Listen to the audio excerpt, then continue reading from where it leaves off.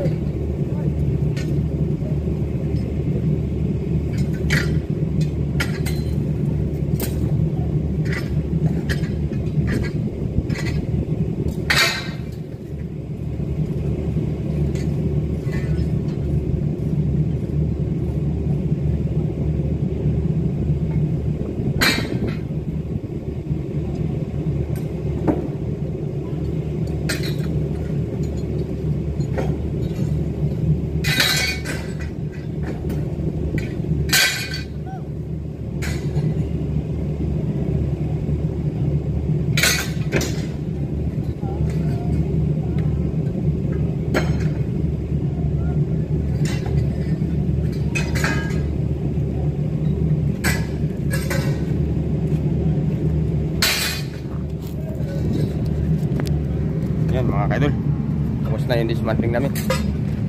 Ay, natapos. Ay, nako. Pangit. Yan, tapos na. Yan. Tapos na ang aming dismantling housekeeping na. Yan. Sana malinis na. Yan, mga kaidol. Kung bago ka lang sa channel ko mga kaidol, uh, please uh, subscribe and hit the notification bell para updated ka sa mga bago ko pang video.